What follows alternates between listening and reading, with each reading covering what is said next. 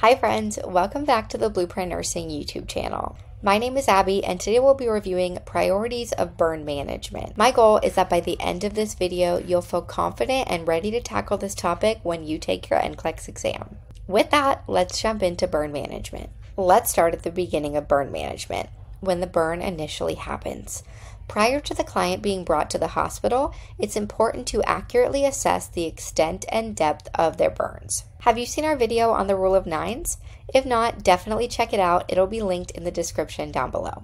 The rule of nines is a great tool that can be used to determine the extent of burns. The main priorities of pre hospital care are to stop the burning process, assess and stabilize the ABCs, airway, breathing, and circulation, and transfer the client to a hospital as efficiently as possible. Depending on the severity of the burn, the client may need to be transferred to a specialized burn center. While en route to the hospital, the burn should be covered with a clean, dry dressing or plastic cling wrap to help limit the depth of the burn.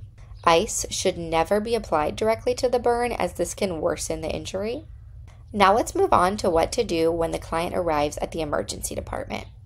Upon arrival to the ED, cardiac and oxygen saturation monitoring should be initiated. Remember those ABCs? Stabilization of the airway and any life threatening injuries takes priority over the burn itself at this time.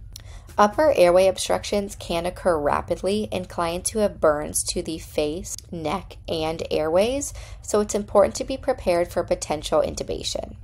And some clients may have a patent airway but will still experience bronchospasm related to inhalation of smoke and may require bronchodilators. Clients exposed to smoke should also be assessed for carbon monoxide poisoning. Do you remember the most notable sign of carbon monoxide poisoning? Cherry red lips, mouth, and mucous membranes. You got it. Carbon monoxide poisoning can be self limiting once the client is removed from the source and treated by giving 100% oxygen. Another treatment that is indicated in adult clients with burns to over 20% of their total body surface area is fluid resuscitation. The exact formula for fluid resuscitation can vary, so be sure to follow your hospital's policy.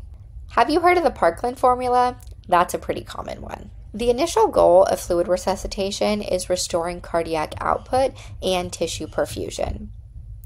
This can be difficult to evaluate in severely burned clients, so you may see insertion of a central venous catheter, which measures cardiac output and perfusion, serial serum lactate labs drawn, which help to measure tissue oxygenation and monitor for shock, and insertion of an indwelling catheter to monitor urine output. Once a client is stabilized and fluid resuscitation has been initiated, subsequent management can begin. During this stage, it's important to carefully assess for additional injuries. These clients may experience a significant amount of pain, and managing it is critical. Small burns may be managed with a cold compress and oral analgesics, while larger burns may require parenteral analgesics such as opiates. Another consideration is hypothermia. Clients who have sustained large burns can lose heat very quickly, so wrapping them in a blanket or foil can help prevent hypothermia. If a client experiences deep burns, surgical therapy may be indicated. This is especially true in clients with circumferential burns. Remember that clients with burns are at high risk of infection due to their injuries. Proper wound care is extremely important to prevent infections that could lead to sepsis. I know this was a long topic, so thank you for sticking with me. As a quick knowledge check, what is most important to initially manage with burn injuries? Airway, never forget your ABCs. Great job. There are references. Thank you so much for working through burn injury management with me. Remember, if you want to see further explanation on the Parkland formula or other nursing topics, don't hesitate to comment them down below. We love hearing from you and are here to help in any way that we can as you prepare to become a real deal registered nurse. Don't forget to check out our other social media platforms, including our Instagram, TikTok, with live study sessions, and our website for our crash course and live NCLEX study group. See you next time.